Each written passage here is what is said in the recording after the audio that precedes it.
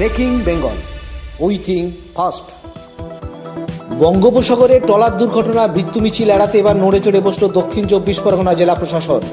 চলতি মরশুমে পরপর দুর্ঘটনায় এখনও পর্যন্ত উনচল্লিশ জন মৎস্যজীবীর মৃত্যু হয়েছে।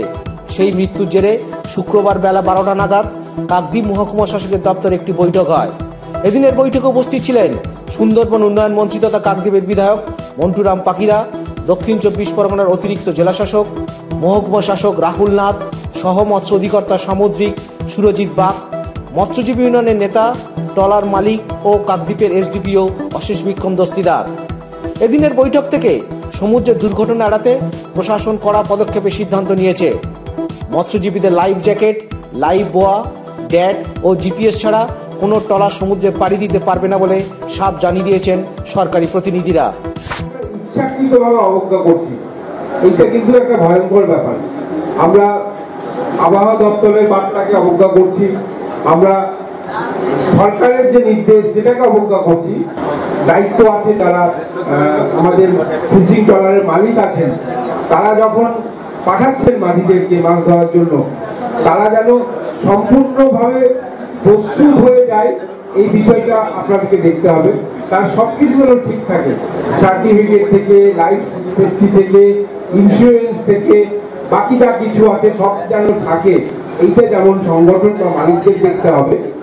সাথে সাথে যারা ফিশারম্যান আছেন, যারা মাঝি যাচ্ছেন মাছ ধরতে, তারা যেন কোনোভাবেই যে নিয়মগুলো করা আছে, সেগুলো যেন কোনোভাবেই না ভাঙেন, কোনোভাবে খুব বেশি রিস্ক যাতে না নেন। এরকম যদি দেখা যায় আপনারা না মানছেন আগামী দিনে আইনে পরিবর্তন আনা হবে। এবং আমরা হয়তো বাধ্য করব আপনাদেরকে যে ফিশারি ডিপার্টমেন্টের পারমিশন ছাড়া তাদের রেজিস্টারে নোট না করে, তাদেরকে চেকিং না করে কেউ একটা ফিশিং ট্রলারও হারবার থেকে ছাড়বে না। এইগুলো একটা নির্দিষ্ট সময়ে পরপর আলোচনা হওয়া উচিত। যার কোনো ব্যবস্থা আমার মনে হয় এখনও পর্যন্ত সঠিকভাবে ছিল না। সেজন্য আমরা জেলা শাসকের পক্ষ থেকে মাননীয় মন্ত্রী সাহেব আছেন, ওনার সম্মতি নিয়েই আমি বলছি যে এসডিও সাহেবের নেতৃত্বে প্রতি মাসে অন্তত একবার করে রিভিউ হোক, একবার করে একটা মিটিং হোক, যেখানে পুলিশ প্রশাসন থাকবেন যেখানে মৎস্য দপ্তর থাকবে, এবং আপনাদের ফিশিং ট্রলার যারা মাছ ধরতে যান, তাদের মালিক পক্ষ মাঝিদের প্রতিনিধিরা থাকবে। এদিনের বৈঠকে ট্রলার মালিকরাও সরকারের কাছে বেশ কিছু দাবি জানিয়েছেন। সেই দাবিগুলি বিবেচনার আশ্বাস দিয়েছেন সরকার পক্ষ। আমরা যখন আমরা সেই যদি বড়ি হয়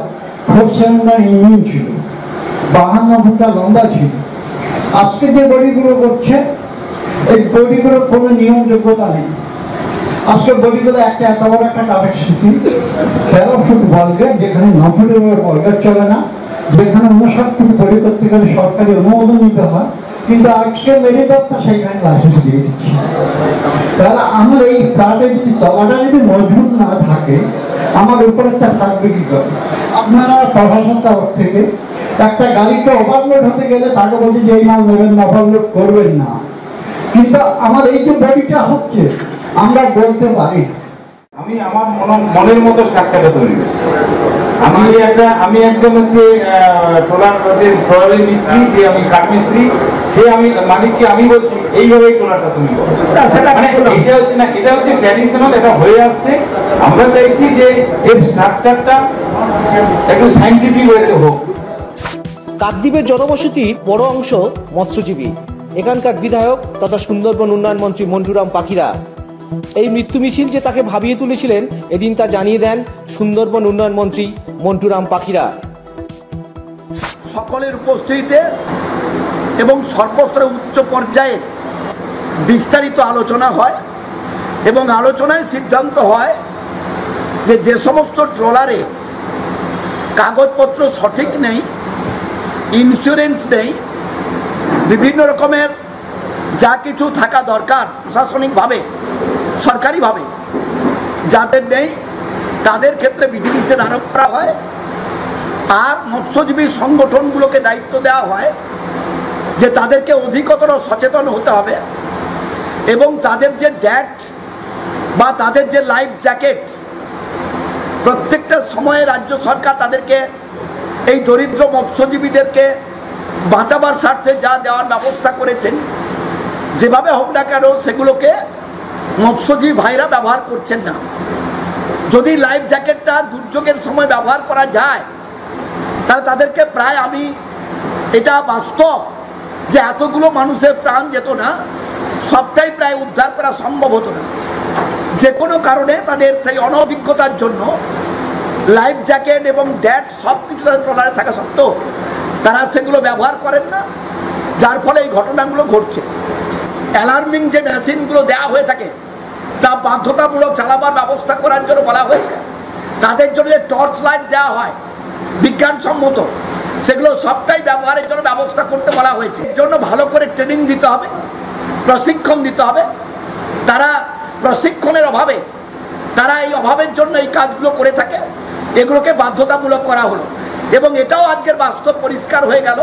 যদি ভবিষ্যতে ক্রমান্বয়ে এই ঘটনা ঘটতে থাকে, তাহলে ভবিষ্যতে সরকার বা প্রশাসন মানুষের জীবনের দিকে তাকিয়ে পরবর্তীকালে হয়তো কঠিন থেকে কঠিন পদক্ষেপ নিতে বাধ্য হবেন। এখন দেখার আগামী দিনে ট্রলার মালিকরা সরকারি এই বিধিনিষেধগুলো কি মেনে চলবেন, তাহলেই হয়তো এড়ানো যেতে পারে। পরপর এই মৃত্যু মিছিল। কাকদ্বীপ থেকে বিশ্বজিৎ হালদারের রিপোর্ট ব্রেকিং বেঙ্গল।